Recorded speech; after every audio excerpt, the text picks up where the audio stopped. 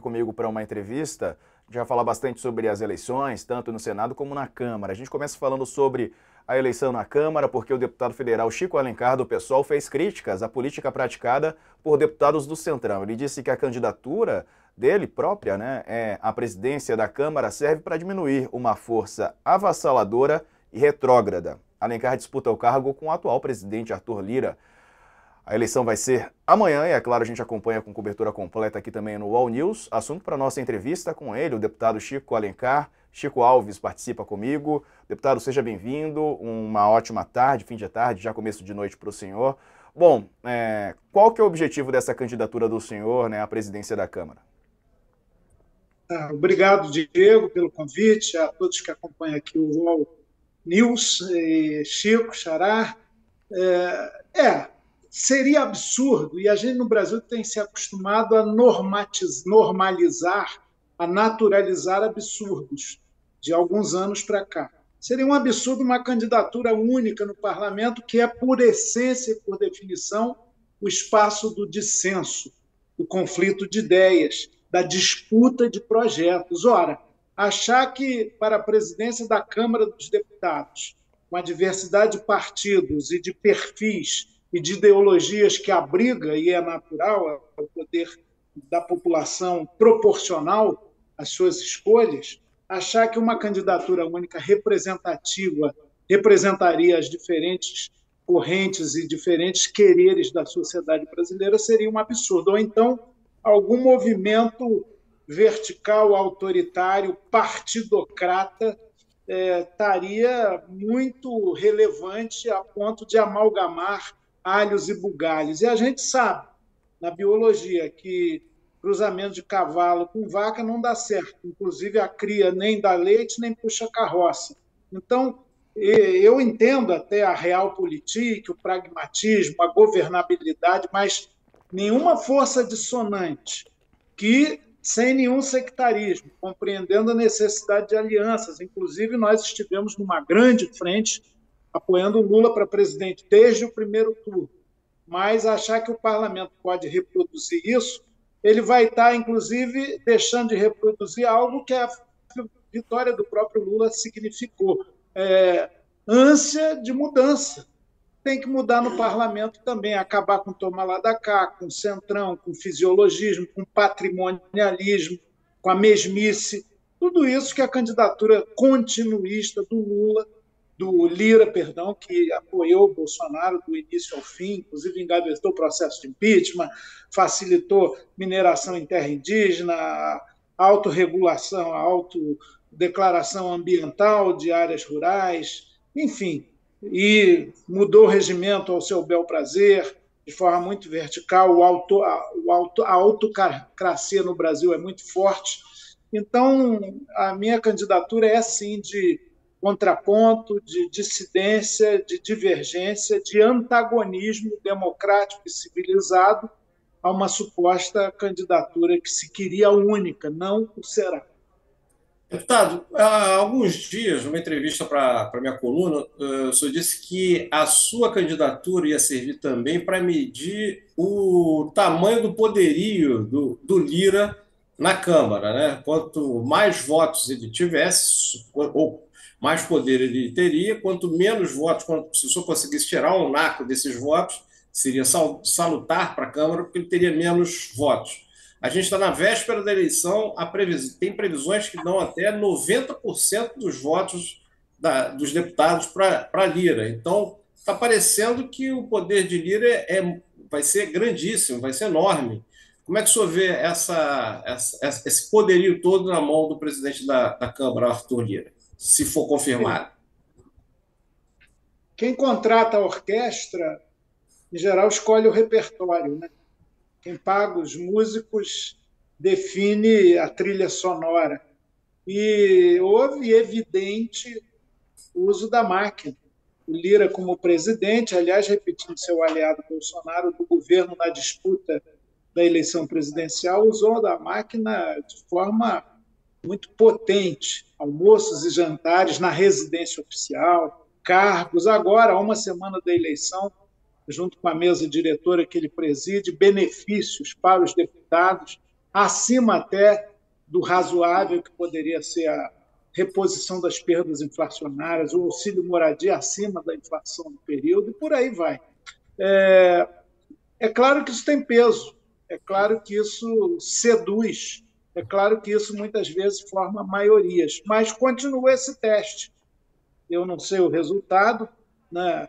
eu estou que nem o Dadá Maravilha, aquele antigo jogador de futebol, perguntado para ele sobre o resultado do clássico, qual o prognóstico, ele falou: o prognóstico eu só dou depois do apito final do jogo.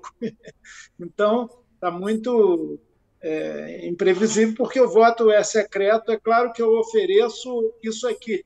Ó, apresentamos a todos os deputados, além das razões da candidatura, princípios políticos e éticos, 20 pontos programáticos pela Câmara independente, democrática, porosa às demandas populares, sensível às tragédias da nossa população invisibilizada, como essa agora, que é de cortar o coração dos Yanomamis, que não caiu do céu, não foi castigo divino, foi omissão criminosa do governo passado e algo que vem já de muito tempo.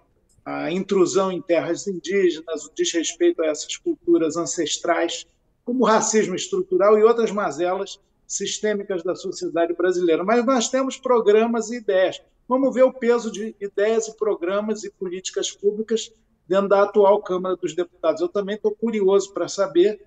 Agora, é, como dizia o Dom Pedro Casaldali, uma figura maravilhosa, catalão do mundo, que foi bispo católico no interior do Brasil, São Félix do Araguaia, nós somos militantes, tantas vezes derrotados, de causas invencíveis. Eu acho que a causa da democracia, apesar das atrocidades do 8 de janeiro, nunca vistas no Brasil, o Capitólio ao, ao cubo, ao triplo, é, toda essa história recente do Brasil, a mortandade na pandemia, pandemia, que podia ser menor do que foi, esse enlutamento que vivemos, a asfixia, as ideias mais retrógradas, isso tem peso, mas isso será derrotado pela democracia e pelo sonho de igualdade. Pois não. Agora, é, essa sua candidatura afasta o, pessoal um pouco do PT, né? O PT que apoia Arthur Lira, né? Causa algum tipo de afastamento?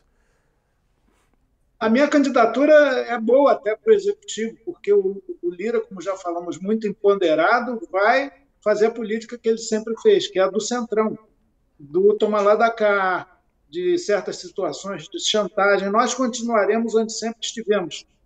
Apoiamos o Lula desde o primeiro turno, apresentamos o nosso programa para ele, vamos cobrá-lo, vamos apoiar o governo em tudo que for do interesse público, saudamos não só as ações iniciais do governo Lula após o cochilo no dia 8 de janeiro, depois a postura foi absolutamente correta, continua sendo, inclusive da justiça também, contra os golpistas, a, o restabelecimento de relações no Mercosul com nossos países irmãos, a ida ao território Yanomami, a decretação do estado de emergência sanitária lá, hoje a reunião com os movimentos populares e a criação de um conselho popular dos movimentos com quem Lula vai se reunir a cada três meses, tudo é muito positivo, é um começo alvissareiro.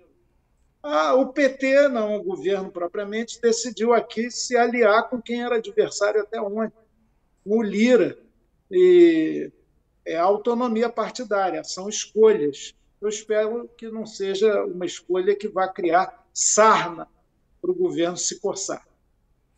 Deputado, o senhor saiu, o senhor saiu da, da Câmara há alguns anos e, acho que, se não me engano, há quatro anos, não é isso? Isso. Quatro anos. Então, é, nesses quatro anos, a política mudou muito. Né? A gente viu é, uma, uma leva de políticos com uma, uma, um discurso muito agressivo. É, e o Milor Fernandes dizia que a hipocrisia já é um avanço, né? porque a pessoa que tem que, que, que nega o que os seus defeitos, pelo menos tem vergonha deles e tenta parecer alguma coisa que não é. A gente tem alguns parlamentares que perderam, inclusive, a hipocrisia, se mostram é, completamente sem nenhum compromisso com o, o povo brasileiro.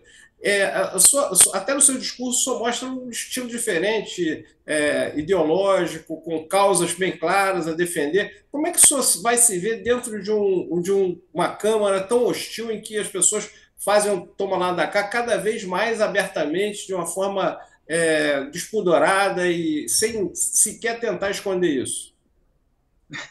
É, Chico, vai ser um desafio. Eu defendo a política educada, da serena firmeza, das ideias que brigam não as pessoas, mas também aí tudo tem limite, né?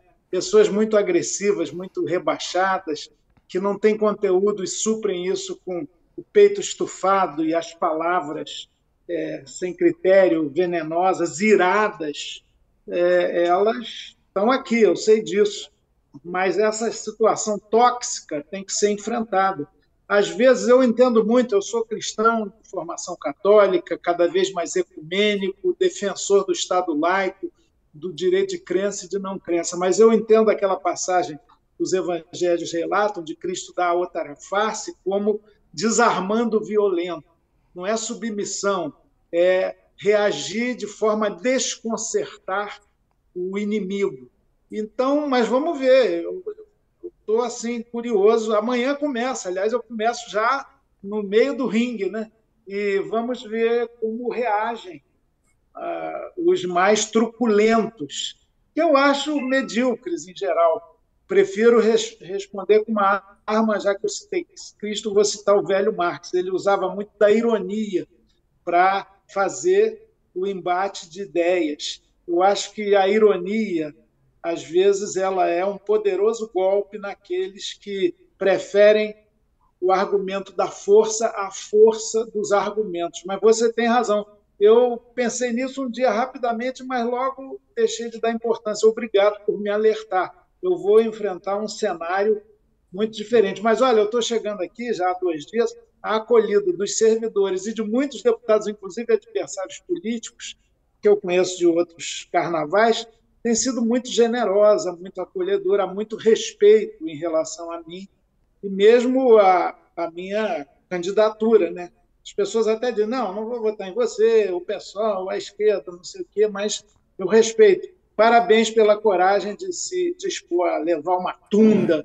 Não é tão grande assim. E olha, os sonhos não envelhecem e, às vezes, o que aparentemente é derrotado no voto representa uma vitória política. Eu acho que é uma vitória política do parlamento ele ter dissenso, ele expressar um outro ponto de vista que não só o liderado pelo Lira do orçamento secreto. Tá certo. Deputado Chico Alencar, vamos acompanhar amanhã a votação, é claro. Obrigado pela participação. Um abraço para o senhor, bom trabalho, bom ano né, de trabalho que começa amanhã oficialmente para o senhor e para os seus pares do Congresso. Muito obrigado, Diego. Muito obrigado, Chico, e a todos que acompanham o UOL. Vamos lá. É isso aí. Valeu, deputado. Sai um Chico, mas o outro continua aqui comigo. Ô, Chico Alves, me diga uma coisa. É, muita gente não